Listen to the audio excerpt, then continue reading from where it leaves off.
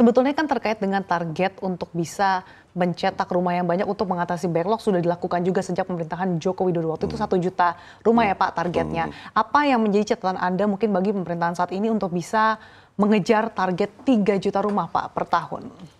Uh, saya rasa uh, dari pihak kabinet yang baru mungkin sudah ada pembicaraan dengan pihak-pihak investor. Kalau nggak salah saya uh, baca uh, uh, apa, berita beberapa hari yang lalu bahwa akan ada mitra dari uh, asing, hmm.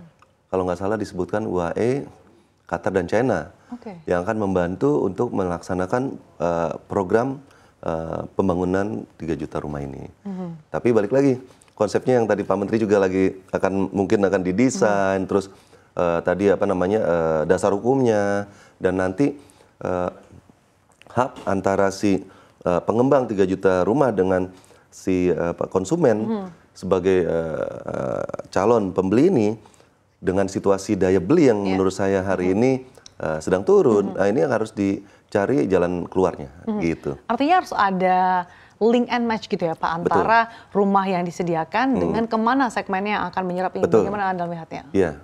Jadi tadi yang belum disebutkan oleh Pak Menteri, yang saya lihat adalah atas 3 juta rumah ini segmen mana aja yang uh, akan menikmati ini. Mm-hmm. Apakah segmen menengah, atas atau segmen uh, orang yang benar-benar membutuhkan okay. uh, rumah itu, yaitu adalah rumah pertama, gitu.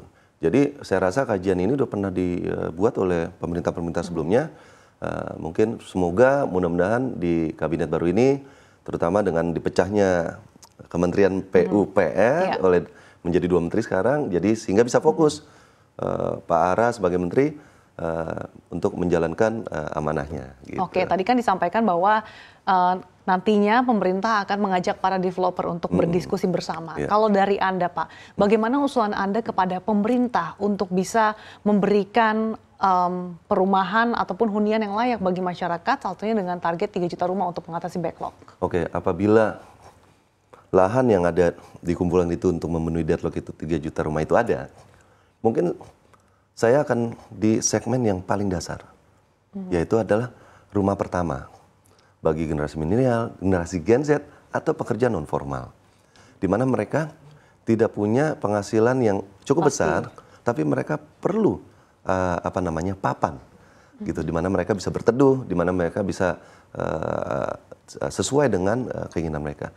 Tapi antara dengan situasi sekarang daya beli sama uh, kebutuh apa namanya persediaan ini ada hub intermediary yang uh, hari ini masih terasa berat menurut saya, hmm. yaitu uh, perbankan, mungkin nanti aturan perma, uh, pemerintahan yang lain terkait untuk pembiayaan rumah itu.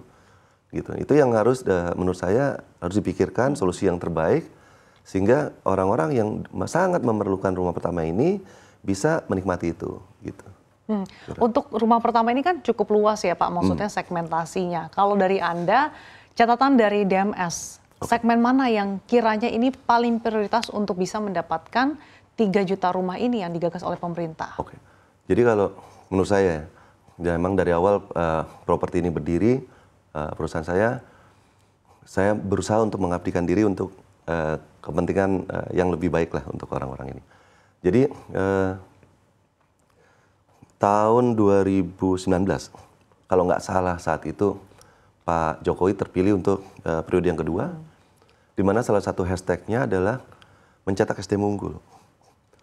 Yang terpikirkan saya saat itu dengan konsep saya adalah, oh untuk mencapai 2000 apa Indonesia Emas tahun yeah. 2045, berarti kita harus mempunyai suatu dasar yang pondasi yang sangat-sangat fundamental, yaitu adalah rakyat yang mempunyai uh, dasar pendidikan yang cukup baik jadi di situlah saya berjuang sampai hari ini adalah untuk membangun satu kawasan pemukiman di mana itu adalah target utama saya adalah guru.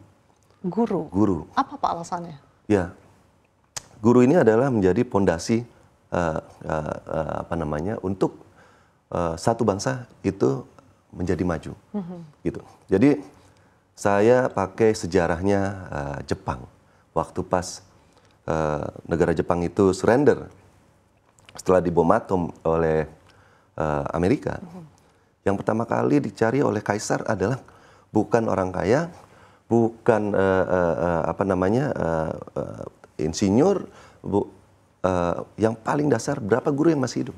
Oke. Okay. Gitu. Itu ada di buku semua sejarah Jepang. Mm -hmm. Di situlah yang saya yakin bahwa uh, perjalanan uh, bisnis saya ini adalah saya berusaha untuk mencoba untuk uh, melakukan hal yang sama, mm -hmm. itu memberikan yang terbaik, gitu.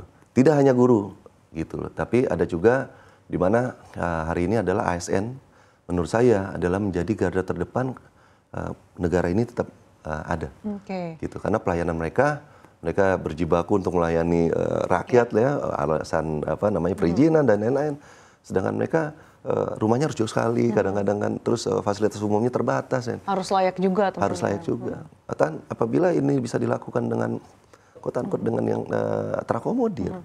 saya yakin yakin sekali bahwa keinginan mereka untuk melakukan side income itu akan turun Oke, jadi gitu. pandangan Anda prioritasnya sebaiknya diusulkan guru hmm. dan ASN karena ini keduanya menjadi lokomotif, lokomotif Indonesia Emas 2045. Betul. Kalau dari pemetaan ataupun mungkin apakah uh, DMS sudah memiliki roadmap terkait dengan rencana pengembangan ya, kawasan ini, Pak? Kami ada pilot project uh, pertama kami, ya mudah-mudahan di uh, saya uh, berharap dengan uh, pemerintahan baru uh, kami punya harapan baru dan uh, mudah-mudahan kami didukung di sektor properti uh, untuk tahun depan mungkin saya bisa wujudkan hmm. uh, rencana saya untuk hmm. uh, konsumen utama saya adalah untuk guru-guru. Oke, okay,